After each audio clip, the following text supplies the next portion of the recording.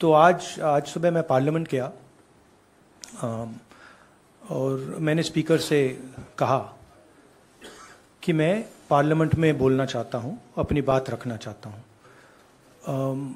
सरकार के शायद चार मंत्रियों ने चार मंत्रियों ने चार मंत्रियों ने मेरे ऊपर आरोप लगाया है हाउस में आरोप लगाया है तो मेरा हक है कि मुझे पार्लियामेंट हाउस में अपनी बात रखनी देनी चाहिए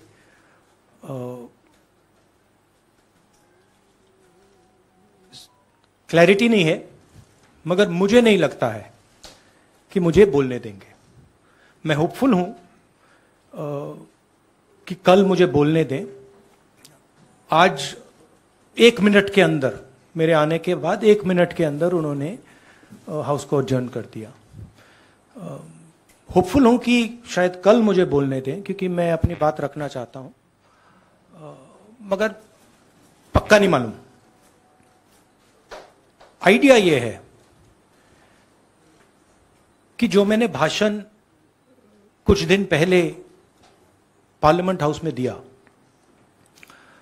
अदानी जी के बारे में, और जो नरेंद्र मोदी जी और अदानी जी का रिश्ता है उसके बारे में मैंने सवाल पूछे। उस भाषण को पार्लियामेंट हाउस में पूरा एक्सपंज कर दिया गया। और उस भाषण में ऐसी कोई चीज़ नहीं थी जो पब्लिक रिकॉर्ड से मैंने नहीं निकाली। अखबारों से, लोगों की स्टेटमेंट से मैंने पूरा भाषण डेवलप किया था और उसको एक्सपंज कर दिया गया।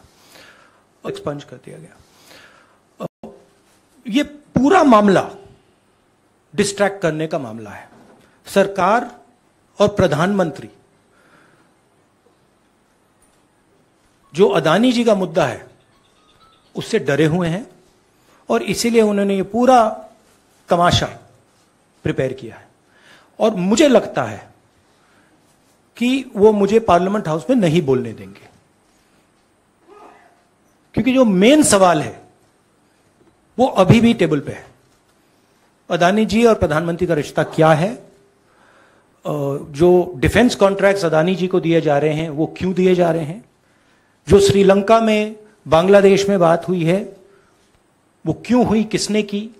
ऑस्ट्रेलिया में जो प्रधानमंत्री जी और स्टेट बैंक के चेयरमैन और अदानी जी के साथ जो मीटिंग हुई वो क्यों हुई उसमें क्या डिस्कस हुआ? तो ये सब सवाल हैं जो प्रधानमंत्री जवाब जिसके जवाब नहीं दे पा रहे हैं। और ये मेन मेन बात है। आ, मैं एमपी हूँ तो मेरी पहली रिस्पॉन्सिबिलिटी पार्लियामेंट में जवाब देने की है। और मैं चाहता हूँ कि पार्लियामेंट में जवाब देने के बाद मैं आपके साथ डिटेल में डिस्कशन करूँ। मगर उससे पहले मैं डिटेल में आपके साथ नहीं जाना चाहता हूँ, क्योंकि वो वो एज एन एमपी वो हमारा प्लेटफॉर्म है।